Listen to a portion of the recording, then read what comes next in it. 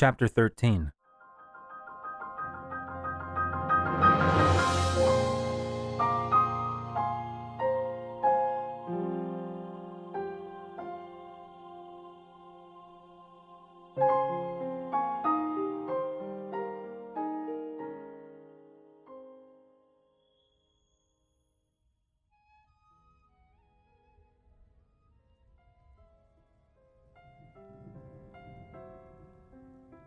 Link grasped the wet stone with cold fingers, gritting his teeth as he struggled to maintain his grip on the stone. The rain had begun in earnest mid climb, naturally, and he'd almost slipped several times. Next to him, the waterfall roared, falling a surprisingly far distance down to the ground below. He'd learned not long ago not to look down, however, and continued to climb, finding the small handholds that he was able to fit his fingers and feet into.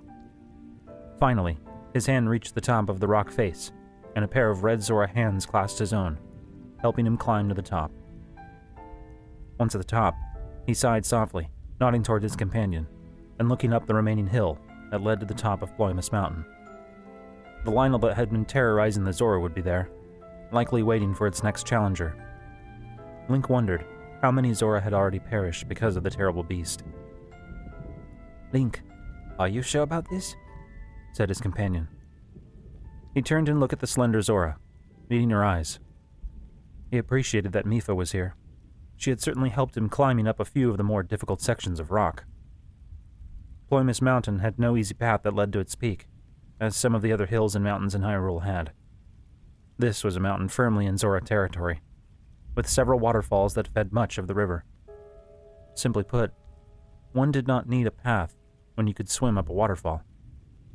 Link was an excellent climber in his own right, but slick rocks next to waterfalls were never particularly easy, even without the rain. Still, though, he wished she hadn't followed him. Didn't she understand that this was his duty? He had been chosen as the protector of the land, the hero, the champion. If not his duty, then whose could it be? Still, his friend followed him. He gave a small nod in response to her question and then turned, looking towards the much shallower incline that led up to the peak. He began to walk again and heard Mipha falling behind him. He expected that she would hang back. The Lynel was known to have shock arrows, and Mipha didn't have the resilience that her teacher, Sagan, had. And even he had been unable to defeat the Lynel, forced to leap off Shatterback Point into the eastern reservoir to avoid death. This Lynel, it would seem, was a particularly vicious one. This worried Link. While he had never actually spoken with a Lynel, they were not known to speak Hyrulean. He knew them to be intelligent creatures. They were territorial, to be sure, but also fair. If someone ended up in their territory by accident, they would usually give warning, and only attack when that warning was ignored. Not so with this one, based on what Link had been told. Shatterback Point, the peak of Ploymus Mountain, was preceded by a fairly flat, lush patch of land, situated just beneath the peak. It was a favorite spot among Zora, both for recreation and romantic rendezvous. At least that's what some of the Zora had told him. Grass covered the small plateau, and a copse of trees grew near the peak. There was a path that circled around the mountain, up to the northeastern side of the flat expanse, which is the path that they took. As they approached the top, he crouched, looking through the tall blades of grass for any sign of his quarry. He saw no immediate sign of the Lynel, and thought that maybe it had hidden among the trees on the opposite end of the plateau. So, what is our plan? How should I help? Mipha asked behind him. What? Link whirled around, frowning down at her. It's not safe for you. It's not safe for you either, Link. I'll be fine on my own. You need to turn back, Mipha, he said, his voice firm.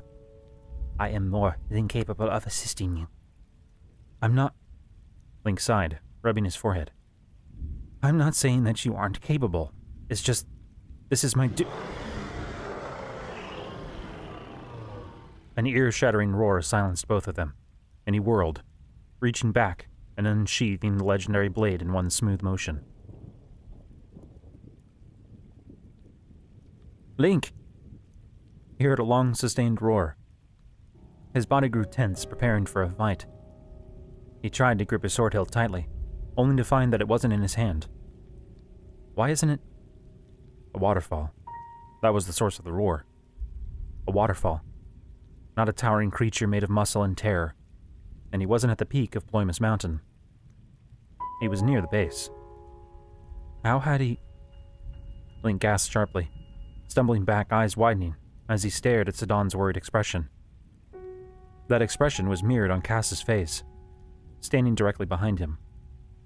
Rain poured all around them, causing Link's hair to hang limply on his head. Some water dripped down into his eyes and he blinked it away. Link, what happened? Are you alright? Sidon said, taking a step toward him. You froze.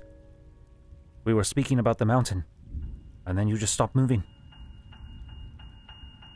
Link looked between them, opening his lips to speak, but found his mouth dry, despite the amount of moisture in the air. How could he describe what he'd just experienced? It was a memory, of that he was certain. A memory of Sidon's sister. He tried to wrap his mind around it, to parse through everything that he had witnessed. How long had they been standing there? It was difficult to tell time due to the presence of the dark clouds overhead. Link? Link finally focused on Sidon and tried to clear his throat, nodding. I'm all right, he said, his voice a croak. He swallowed and tried to speak again. I just witnessed something. I saw your sister. My sister? Sidon said, alarmed. In a memory, Link continued. We were going to fight the Lynel. She went with me. I tried to tell her to go back. But then it ambushed us while we were arguing. I don't. Incredible, Cass said, looking excited. Of course. That's not how the story is told today. In fact, some of the recent versions of it that I've heard don't even mention your presence. But one should always expect some embellishment in such heroic tales. Link met Sidon's eyes, unsure of how the tall Zora would react.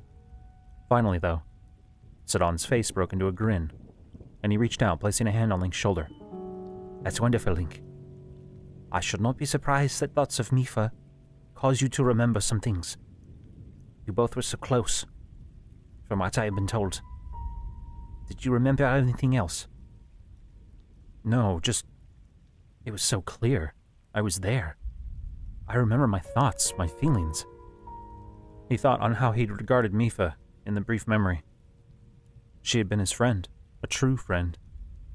His heart suddenly ached for that loss, even though he'd only recovered very little. Already the vision was fading some, like memories did over time. But they had been friends. Of that he was certain. It makes sense, of course. Cass stepped up beside Sidon. We are retreading your steps.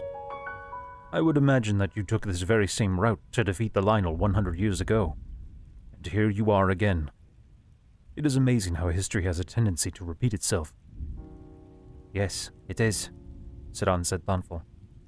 I imagine that you will have many songs to write after this day. Oh, I am sure that I may be able to come up with a couple, Cass said, smiling. Link finally forced himself to relax. It had been a memory. Not a fragment, not a glimpse of a face or a scent. A true memory. As though he'd been there only moments before. As if Mipha had been alive only moments before. That hurt. He was surprised at how much that thought hurt. He still didn't know her, not truly. He knew only the thoughts and the feelings he'd felt in those few moments, and those had mostly been directed towards the upcoming fight. But it was something. Well, shall we continue? Sidon said, rousing him from his contemplation. He met the Zora's eyes and nodded. Sidon grinned and stretched his arms behind his back before approaching the body of water at the base of the waterfall. Mikau Lake, Sidon had called it. He'd been telling them about the mountain when Link's memory had been triggered. He'd just finished telling him of the mountain's popularity among the young Zora couples. Sidon slung his bow over his shoulders and leaped into the air before arcing into a perfect dive. He entered the water with barely a splash, but a moment later, he burst out of it and into the rushing waterfall. Amazed, Link watched as he kicked with his legs with blurring speed, using his arms to steer his way up the heavy current. The Zora rose far faster than Link would have thought possible, leaping up through the waterfall like a salmon swimming up river rapids. When he reached the top of the waterfall, he burst out into the air, spinning in a lazy circle before falling back out of view. Link glanced over at Cass, who also looked up with fascination. He knew he had to ask, and hoped that the question would not somehow be offensive. Can't you just fly up? he asked. Cass was, as far as he could tell, waiting for Sidon to throw the rope down as well. Loreto looked at him and smiled. Yes and no. You see, we Rito are not actually that proficient at difficult flight. We can fly, but prefer there to be a good updraft for extended flights. Our bones are far denser than that of common birds, and flying straight up is exceedingly difficult. It would take me a long time to gain enough proper altitude in fairer weather. So, in the case of climbing this mountain with you gentlemen, I will be as flightless as you. However, if I were to take off from the peak, and if it were not raining so heavily, I could likely fly halfway across Hyrule before needing to rest, assuming I planned my flight accordingly. I didn't know that. I just assumed. Cass chuckled and shook his head. It's quite all right. It is a very normal misconception of our species, and some are better at flight than others. My wife, for example, is a beautiful flyer. She is like a dancer in the air. Compared to her, I am perhaps more aptly described as a stone with wings. Link couldn't help but laugh at this, feeling his spirits lifted. He found that he was happy that Cass had come on this trip. Though the Rito knew too much about the past for his comfort, he was also someone that Link enjoyed being around, even in the short time they'd known each other. Does your wife travel with you? Link said. Oh, no, Cass said, his expression growing distant. He looked toward the west. My wife and daughters remain behind in Rito Village. My daughters are just too young to travel by flight yet, and it is too dangerous to travel by road. My hope is to finish my master's song and make my way back there soon. I feel I have already been gone too long as it is. Link looked at him, able to see the sadness in Cass's eyes, and opened his mouth to speak, though he was unsure of what to say. At that moment, though, a length of rope dropped down from the edge above, and Sidon's head popped into view. Hello down there, he said, waving. Climb up. Cass looked at Link with a smile, and then motioned with a feathered hand that he should be first. Link obliged, stepping forward and grasping the rope. It was slick from the rain, but he was able to grip it well enough. Carefully, he began to pull himself up, using the cliffside for footholds. He was able to pick out the requisite footholds without much difficulty, making the climb surprisingly easy for him. In only a few short minutes, he had scaled the wall and looked back down at Cass. Cass, for his part, climbed the wall without many problems either. The fingers at the end of his wings gripped the rope well, and he used the talons on his feet for added purchase against the cliff. When both Cass and Link had climbed the wall, Sidon pulled the rope back up, wrapping it around his shoulder and waist before smiling at them. That worked magnificently, he said, winking, before walking back over to the pool of water at the top of this cliff. The ledge they stood on was at the bottom of another waterfall, which Sidon immediately set about swimming up. Link wondered just how many walls they would have to scale before reaching the peak.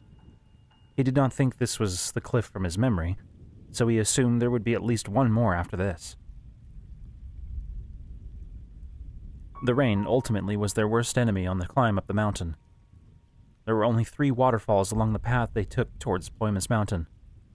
The first two passed with little incident, but Link's hand slipped on the rope while climbing up alongside the third waterfall, the same one from his memory. Fortunately, it had not been too high up when he fell. Unfortunately, the equipment strapped to his back was still quite painful to fall on. He gasped for breath, rolling onto his stomach. After he caught his breath for a few moments, he groaned and sat up on his knees. Cass crouched next to him, peering at him in concern. Link shook his head, closing his eyes tightly, and reaching around to rub the spot on his back that the sword's scabbard had pressed against. Is he all right?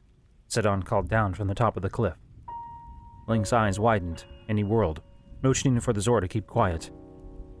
He thought that they still might be far enough away, considering the rain, but if the Lynel heard him, The thought of Sidon facing the Lynel alone ultimately helped Link push through the pain in his back and stand. Gritting his teeth, he gripped the rope again and began to climb, one hand over the other, feet finding the small ledges and holes to help propel him higher. He almost slipped again. His hands ached after climbing so much, and the rain had only grown colder the higher they went. But he gripped the rope fiercely, knuckles turning white. Finally, a red scaled Zora hand gripped his wrist and helped pull him up. He thought back to the events of 100 years ago, when he'd been in this exact situation with Sidon's sister. Perhaps Cass was right about time repeating itself. That, however, did not seem to bode well for his ultimate goals. Cass wisely tied the end of the rope around his waist and climbed up without nearly as much difficulty as Link had. For all their feathery appearance, Rito hands were strong, it would seem. The three of them looked around to each other, expressions growing grim. This was it, then. They still had to walk before they reached the peak, but realistically, the Lynel could appear at any given moment. No more laughing, no more stories. Either they would be victorious, or they would perish. It was a sobering thought. Together, the three turned and continued their journey up the mountain. He couldn't remember how he defeated the Lynel in the past. At the moment, that seemed to be the real tragedy of the memory he'd seen. He had reached the crest of the same hill from Link's memory, and he knew what to expect as he crouched low and peered through the tall grass. This was a problem because knowing what to expect didn't mean that he knew how to deal with it.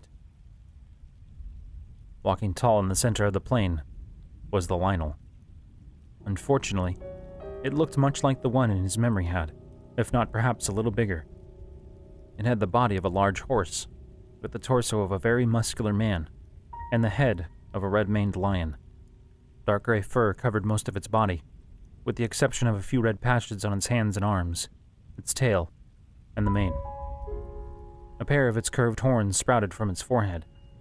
Its body was also scarred in multiple places, Patches of white skin where the fur did not grow were visible all over its torso, flanks, and arms.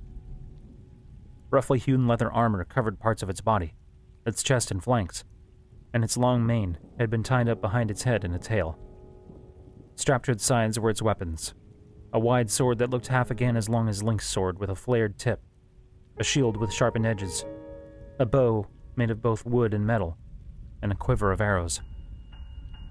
It turned towards him, and Link's breath caught as he tried to flatten himself against the ground. He could just barely make out the top of the Lynel's head over the grass. He waited. A moment later, the Lynel turned, walking further away. Exhaling slowly, Link edged his way back down the hill until he could safely stand and slink back around to where Sidon and Cass crouched, waiting. When he reached them, the three of them drew close, speaking in hushed tones, even if the rain ensured they would not be heard. It's there, he said, his expression grim. What is it doing? Sidon glanced up toward the peak. He didn't look nearly so cheerful anymore. Just walking around. It looks alert. It knows that it has been a while since it has been challenged. Most likely, it expects to be attacked by a larger force than before. Sidon paused. Did it still have its arrows? I think so. It had a quiver of arrows. Those will be them, then. Sidon grimaced, looking at Link. I think we should stick with our original plan. If you could keep it occupied up close, I can weaken it with arrows. Are you a good shot? Link said, suddenly dubious about this plan. It had seemed solid at first, but now that he thought about it, that would also put him in the line of fire. Sidon grinned. I am. Link looked at Cass, eyebrows raised. Rito had been quiet while he and Sidon discussed their battle plans. I will stay away from the fighting if I can. Perhaps take up a place of observation on the peak. I believe that I can fly around the mountain to that point without being seen. Cass's voice was tense. Clearly, he was as anxious about the fight as Link and Sidon were. Link nodded looking back to Sidon. The prince had perhaps the most dangerous job, something Link was not pleased about. Sidon would unleash the opening volley towards the Lynel, drawing its attention in order to allow Link to close the distance without being shot by a shock arrow. In doing so, he put himself at risk by being shot by such an arrow. Link would have to move very quickly indeed. Sidon nodded at him in turn, pulling his Zora bow from around his shoulders. He still held his spear in his other hand. This was it. Link slowly unsheathed his sword and strapped his shield to his arm, however little good it would do against such a beast. Good luck, Cass said, placing a feathered hand on each of their shoulders. He would wait for them to engage the beast before making his own move. Once again, Link wondered at the wisdom of bringing him along. Was it truly wise to bring along a non combatant to such a dangerous situation? It did not matter, he supposed, as long as he kept his distance. Sidon and Link began up the hill, splitting off from each other when they reached the top. Sidon, nearly crawling on his belly, went right, while Link angled left, ducking behind a large rocky outcropping. If all went well, Sidon would shoot his arrow to get the Lynel's attention, and Link would charge the beast. By timing their two attacks well, they could cause the Lynel to freeze and hopefully end its life before it could properly retaliate. It was a good plan. It had a good chance of. The Lynel roared, and Link heard the sudden crackling sound of a shock arrow being drawn. Cursing, he rushed around the outcropping to see the Lynel drawing upon Sidon, who hadn't even had a chance to draw an arrow yet. Hey! Link cried, banging his sword against his shield. It had the desired effect, for better or ill. The Lynel turned its aim towards Link and loosed the shock arrow. He caught a glimpse of the yellow arrow flying through the air, and just managed to avoid being struck in the chest by it by rolling forward. He heard the snap of a bowstring. He looked up just in time to see Sidon's arrow sink into the Lynel's shoulder. The Lynel roared in anger, turning again towards Sidon, drawing another arrow. Link leaped to his feet, sprinting forward, shield out in front, yelling a battle cry to get the Lynel's attention again. The Lynel this time ignored Link and shot the arrow at Sidon, who dove out of the way just in time. He sprinted forward, drawing his sword back, hoping to plunge the blade into the Lynel and end the fight there. The Lynel looked at him, its flat nose flaring, and swung its bow at Link like a two handed bludgeon. The bow slammed into Link's shield like a boulder, and he felt his feet leave the ground as he was thrown several feet to the side before landing in a painful heap. Dazed, with his right arm aching painfully from taking the brunt of the blow, Link lay still for a moment. He felt rather than heard the Lynel's hooves pounding the ground a moment later. Eyes widening, Link tucked his arms to his body, rolling to the side. The Lynel charged past, one of its enormous hooves coming within inches of crushing Link's body under its mass. Sidon shot another arrow at the Lynel, this one sinking into its flank. Once again, this had the effect of enraging the Lynel, but did not seem to slow it. The Lynel roared again, eyes widening in fury, and it pulled a pair of arrows from its quiver. It placed both of them on its large bow and drew, taking aim at Sidon's exposed position. Why hadn't he taken better cover? No! Link yelled, as the Lynel released its arrows. They both flew at a slight angle, neither aimed directly at Sidon. He seemed to notice this and froze as both arrows struck the ground on either side of him. This, it would seem, was the Lynel's intent, however, and Link watched in horror as lightning arced across the wet rock Sidon was standing on. Sidon screamed in pain as electricity ran up his body, dropping his bow and falling to the ground, body overcome by spasms. The Zora Prince did not rise, and Link feared the worst. Gripping his sword in a white knuckled grip, Link pushed himself to his feet and ran at the Lynel.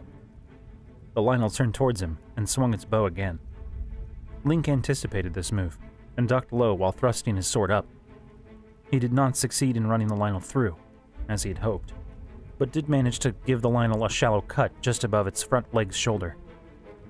The Lynel reared back on its hind quarters, and he rolled to the side, avoiding its kick. When the hooves came down, the ground shook. The lynel was far larger than he thought, now that he was up close. His head barely reached its torso. How had he ever defeated this beast before? He stood, still gripping his sword and shield, and met the lynel's eyes.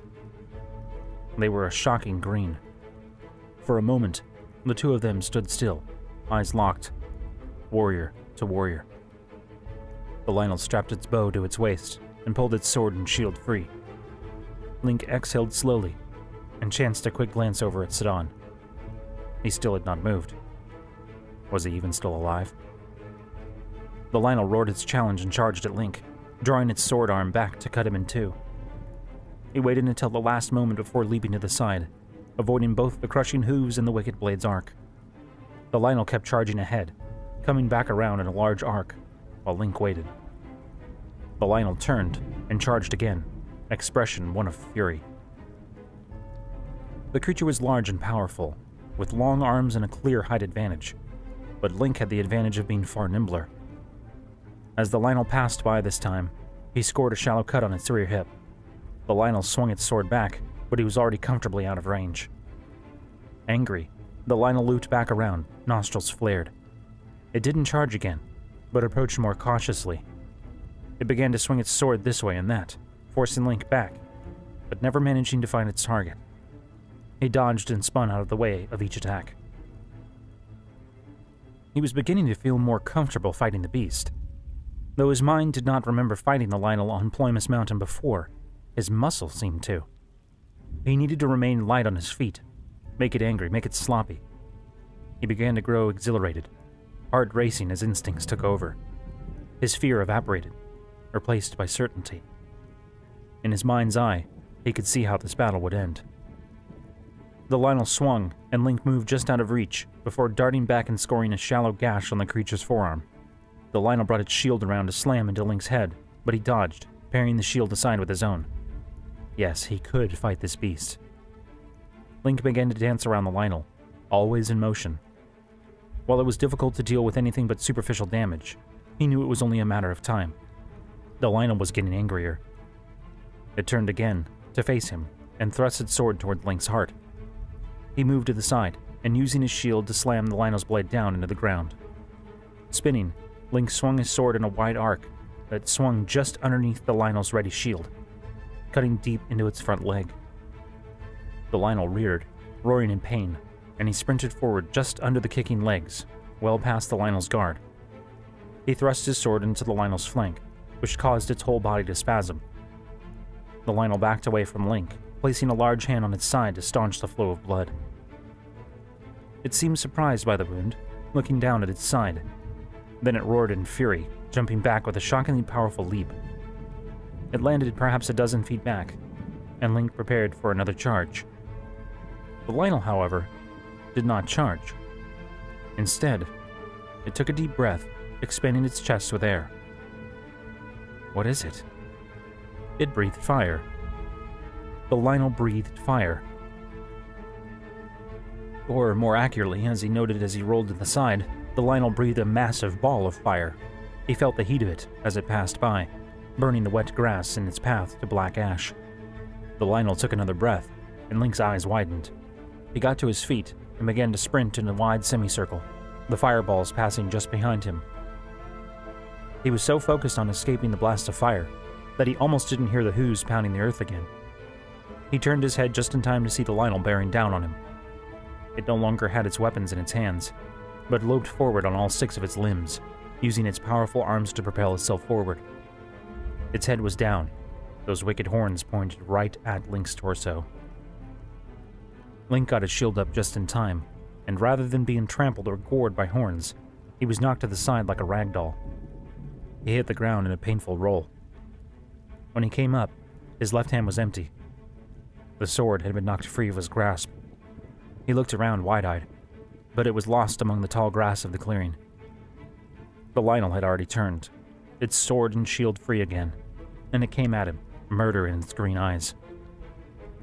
He jumped back, avoiding the first cut, and then leaped to the side, narrowly missing the second. He had no weapons. He had the Sheikah slate, true, but hardly had any time to pull it free and navigate its menus. Stasis could be useful, but he was certain that he would be dead long before he could pull it free and select the Lynel as its target. The Lynel bore down on him, relentless. He deflected one attack with his shield, knocking the Lynel's sword aside from striking his body. The cost was a painful wrench of his shoulder. He could not keep doing that without dislocating or breaking something. The Lynel swung both his sword and shield at him in tandem, and he did a backflip, the two bladed weapons passing just under his feet, he landed several feet back. This move seemed to surprise the Lynel, which eyed him with narrowed eyes. The surprise did not last long, however, and it approached again, towering over him. With a shock, Link realized that his back was up against a rock outcropping. The Lynel seemed to realize it as well, as a smile split its feline mouth, revealing a set of four vicious looking fangs. It positioned its shield to the side, ready to catch Link if it dodged that way, and raised its sword to end him. An arrow suddenly sprouted from the Lynel's shield arm. The Lynel roared in pain and confusion, and he bolted, ducking under the shield. The Lynel brought the bladed shield down a moment too late, allowing him the chance to escape. Sidon, in the grass not far away, lowered his bow and bent down. Link! he cried as he stood and threw something at Link. The object arced through the air and Link caught it. Sidon's silvery spear glittered in his hand. Its point was shaped almost like a fish's tail, with a pair of curved points and a sharp edge between them, providing both a pointed edge to stab and a bladed edge to slice. The Lynel charged at Link's exposed back. He could hear its roar and felt the ground tremble under its hooves. Sidon's eyes widened. Link spun. He placed the butt end of the spear into the ground and angled the point up. The Lynel saw its mistake a split second too late, and the spear's point, shining despite the dim overcast light of the day, pierced the center of its chest, right underneath its ribcage. This, Link was surprised to find, did not quite kill it. Even though the spear had pierced where he expected the Lynel's heart would be, it still swung its sword at him. He jumped back, barely avoiding being cleaved in half. The Lynel stood up straight, the spear still impaling its chest. With a shock, Link saw that the spear had actually been rammed all the way through. The point jutted out from the Lynel's back. It roared, but it was more of a guttural sound than before, Blood dripped from its red mane below its mouth. It took a step toward Link, but its movements had grown sluggish. Its legs trembled, and its shield arm hung limply by its side. Still, though, it tried to take another swing at Link, desperately, angrily, trying to kill him before it too died. Another arrow flew through the air, lodging deeply in its side. The Lynel flinched, but it kept towards him, and he again weaponless gave ground. His foot landed on something other than grass and dirt, and he looked down, spotting not his sword, but another Zora spear, perhaps left over from one of the other Zora that had challenged the beast. He picked it up, surprised to find that its metal shaft had been broken in two. It was barely longer than a sword now. It would do. The Lynel swung its sword at him again, bloody teeth bared in a snarl. He used the broken spear to knock the sword aside. The Lynel's swings lacked the power it had before, and he lunged forward, driving the spear point into the Lynel's gut. He pulled it free, and stabbed again at one of the Lynel's front legs. The Lynel's front legs gave out, and it fell to its knees groaning. Another two new arrows sprouted from the Lynel's flank and back. He stepped back, watching the now motionless Lynel as it knelt. Both of its arms hung limply by its sides now, and it bled from a dozen different wounds all over its body.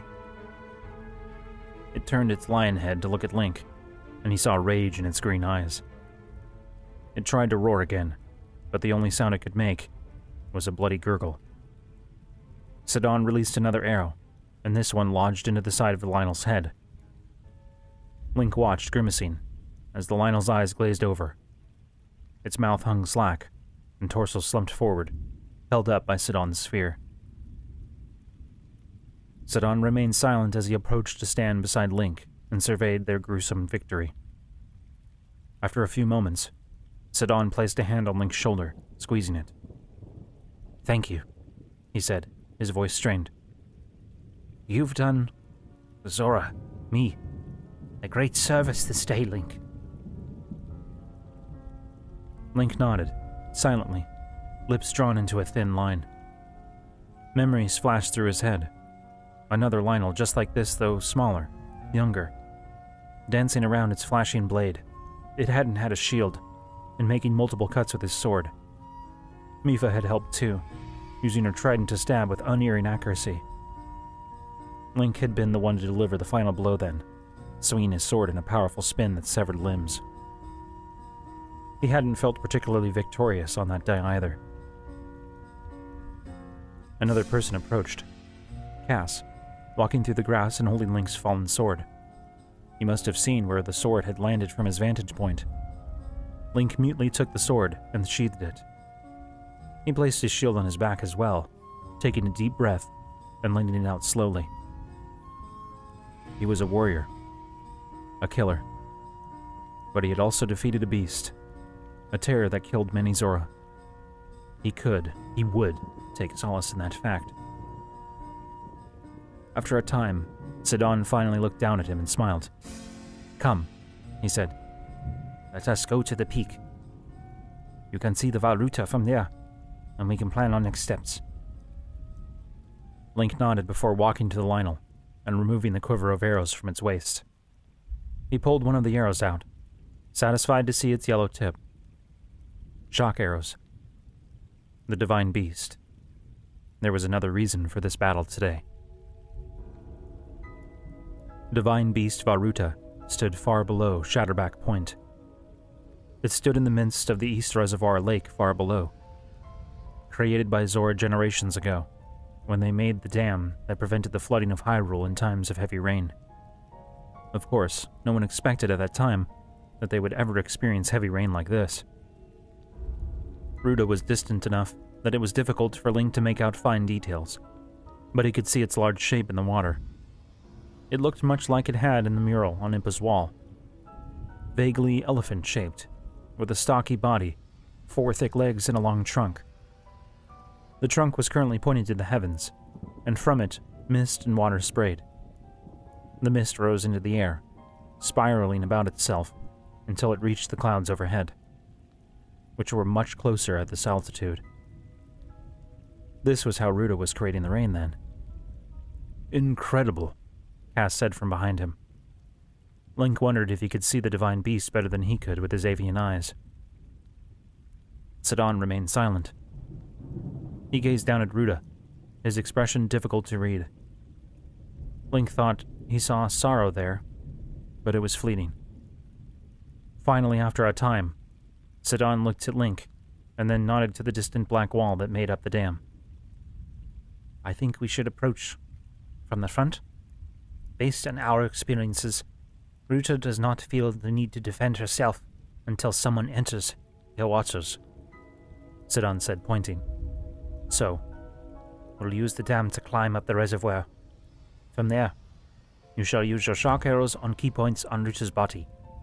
This should disable her long enough to get on board. From there, he trailed off, likely thinking the same thing Link was. Neither of them knew what to expect once aboard Ruta. Link nodded slowly. It should work, he said, though he lacked any real certainty. Oh, I'm confident it will, Sidon said, suddenly grinning. Link looked at the prince, eyebrows raised in question. Link, after today, I am nothing but confident in your abilities to be victorious over anything you face. I can't beat everything, Link thought as he forced a smile onto his lips. That much has been proven. The three looked down at the divine beast Vah Ruta for a time longer. Far below them, it made a loud trumpeting sound, and a few moments later, the rain seemed to come down even harder. Sidon cleared his throat and stepped back from the precipice, looking at each of them in turn. Well, shall we? Link and Cass both turned from the divine beast and together, they began to make their way back down Ploymus Mountain.